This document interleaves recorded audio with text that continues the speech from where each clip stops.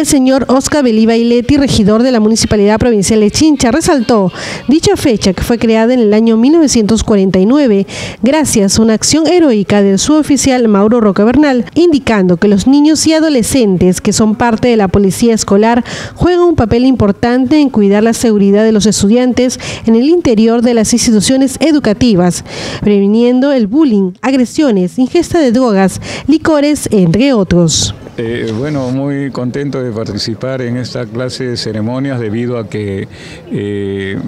las situaciones en las instituciones escolares eh, no han venido siendo muy este, loables, muy buenas, en el sentido de que siempre han estado un poco rezagados, participando cada uno de ellos por su por su cuenta, como buenamente se dice, pero este, a raíz de que ya la UGEL ha entrado a participar, inclusive con una resolución ministerial 068, eh, eh, se ha eh, dado la responsabilidad a la Policía Nacional en la capacitación y preparación de las brigadas de autoprotección escolar, donde incluye también la formación de la Policía Escolar y de los brigadieres para que sean parte de su OPC, de la Oficina de Participación Ciudadana donde ellos también traten de que el colegio donde participan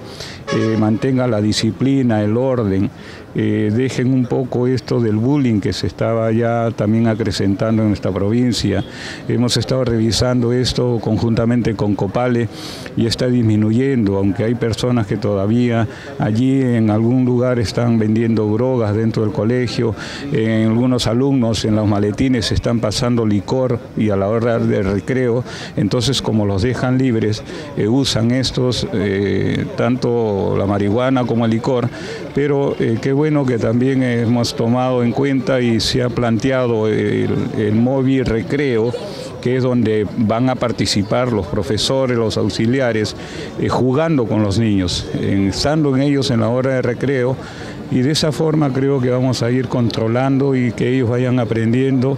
la necesidad de compartir compañerismo que antes sí existía, ¿no? Mi mejor amigo era el del colegio y esto pues como a veces los padres también lo descuidan mucho, entonces eh, qué bueno que se esté dando estas clases de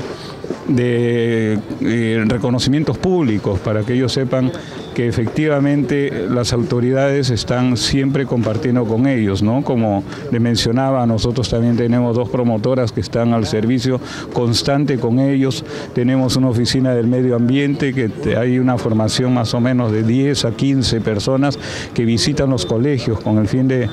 donarles el punto ecológico para que aprendan sobre el reciclaje, mantengan limpios sus salones, sus aulas y todos sus patios. Entonces es una formación que hay que compartir mañana para que todos eh, queden claros y precisos en que también de ellos depende que denuncien los casos que encuentran, porque siempre manifestaba de que se elige a la policía escolar, a los brigadieres, al fiscal escolar, al del medio ambiente, pero eh, queda solamente en título nombramiento, pero ahora no, no están solo. Desde el año pasado ya se está formando y participando conjuntamente con ellos. La Policía Nacional ha capacitado a más de 40 efectivos policiales para que estén al tanto merodeando y dando vuelta en los colegios a la entrada y salida donde el brigadier inmediatamente puede conversar y dialogar con él. Aspectos que crea que no son convenientes dentro de la entrada y salida del colegio, así como que también se ha quedado en que todos los vendedores